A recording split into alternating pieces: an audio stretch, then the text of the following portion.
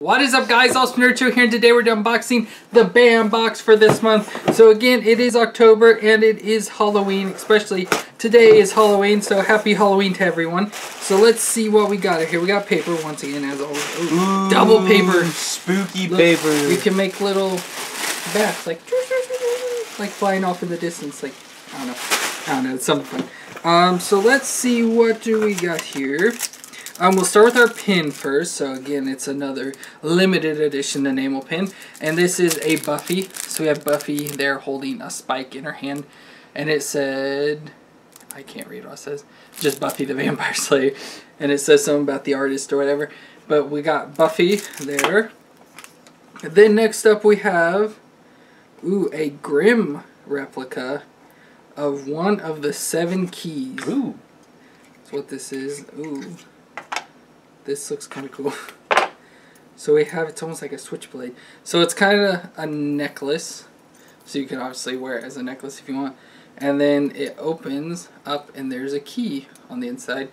So you can use the key to unlock something, whatever. And then if you have the seven keys and roll them in ink, it makes a map.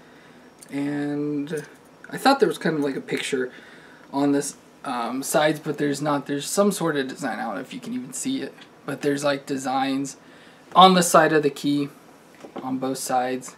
Again, it's hard to see, and it's I don't even know what they are. Like it doesn't really look like anything. Just a bunch of weird shapes and designs. But they're all different though, so that's kind of cool. But yeah, so we got this little like switchblade key looking thing, so that's kind of cool. Uh, next up, we have our badge for the month, and it says Fringe Division, Department of Defense. And so I do remember seeing some about there's some from Fringe, which I've never seen the show or know much of anything about it, but we have a patch from it, whatever. So if you're a fan of Fringe, that's kind of cool. Um, I have no clue what this is, but we have a Michigan license plate. And so as you can see, it says 3971 KTL, Great Lakes, Michigan. So I have no clue what that's from, so I'll have to look at the book or whatever to see what this is from, because I don't recall anything of what that would be from. Um, so we'll just move on and look back at it. So next up we have our pictures. So our first picture here is done by, it says, um, Christopher Uminga, and it is an Edward Scissorhands, and that looks really cool. I really like the picture. Of course, we have Johnny Depp as Edward Scissorhands, and then he's got all the scissors on his hands there, as you can see. Which, of course, he uses to cut hair and bushes and all sorts of stuff. I love Edward Scissorhands. It's a fun movie. Uh, but there we got a picture of that. I really like this. It looks very much like a, obviously it's done by Tim Burton, but this picture looks very much like a Tim Burton, like his animated stuff. So that's kind of cool how they were able to keep that together. And this is out of 1,200, so there's only 1,200 photos of that. And then next up, uh, looks like we have a Gremlins picture, and it looks like we have Spike fighting the kid from Gremlins. So we got that, and then the thing's upside down. But we have our COA. It says 8x10 was hand signed by Zach Galligan, or whatever, who plays Billy Peltz in the Gremlins movie franchise. And so that's his signature right there. It's hard to see in the light, but his signature on that. So we got the character there. And of course, as I said, we got Spike, the gremlin, there in the picture, fighting him with a chainsaw, which is kind of funny. And so that is all the items out of the box. So let's look at the book here. So we have our picture, which looks like maybe an abandoned mall or some sort of place with a ride. There's a ride in the back, then we got a pumpkin with a gremlin head on there. And, oh yeah, I forgot, I was like, I don't know what the theme is, but there is no theme. Um, so we got our Buffy the Vampire Slayer fa uh, fan art pins from Brian Romero was the artist, and so we just got the basic one. We didn't get the special ones or anything. Oh, it would have been cool to get the spike one. So yeah, there's Spike, and then whatever the demon guy is, uh, gentleman, I guess is who it is. The next up we have our uh, Fringe uh, badge, whatever patch, I can think of what they're called. And of course we got the normal one, but there is the exclusive one, all white there that you could have gotten.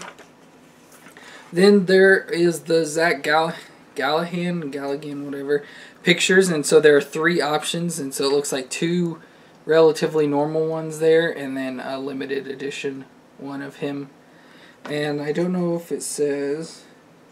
Oh no, it's just a special metallic one. So we get another metallic picture. And then we got our Grimm uh, key says key map or key map of the seven or key map of seven keys from uh, Dark Matters props. So they make a lot of the props for this stuff, and they usually are the ones that come in these little like jewelry looking boxes. And so there is the picture of that, the key on there, a better picture of it. And then we got our Edward Scissorhands picture, which again we did not get the limited edition ones, and it was just um, two drawings of uh, his like Johnny Depp's like character's face up close, and that I like the one we got a lot better, the Ed one. And so that's uh, cool that we got that one. Okay, so this makes. oh no! Dang it! We didn't get the one. I saw it. Got excited. So this license plate is from the Evil Dead. It says, um, of course, license plate prop replica.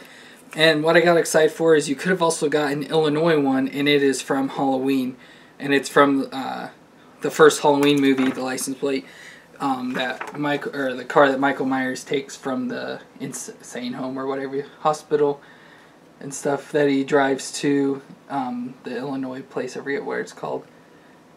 I don't know what's called. And then we got the Evil Dead one there, which I don't know. I didn't know that because I've not seen Evil Dead. And so that looks like that is about it. And then we got our one up, which we did not get. Of course, they have the BAM box Horror, which would have been kind of good for this month. And I know they did have a Halloween signing thing for that, which uh, an autograph, which would have been cool. And then our contest this month is a Chris Hemsworth signed Thor. Um, doesn't really say what it is. It just says Titan Hero Series. So really tall figures there. So you can win a Chris Hemsworth signed one of that with by going to bambox.com for the instructions. So, bro, what was your pick of the box for this month? Uh, I'd have to say the key necklace and the license plate because I love Grimm and I also like Evil Dead. Um, so this kind of like weird. Like I like the whole design of the key, like the whole like switchblade type thing, but it does feel a little cheap. I mean, it is metal, but it feels cheap at the same time. Um, but I just think it's kind of weird. But mine probably is, I don't really like a whole lot of items, but I'd probably say this um, Edward Scissorhand picture is probably the thing I like the most.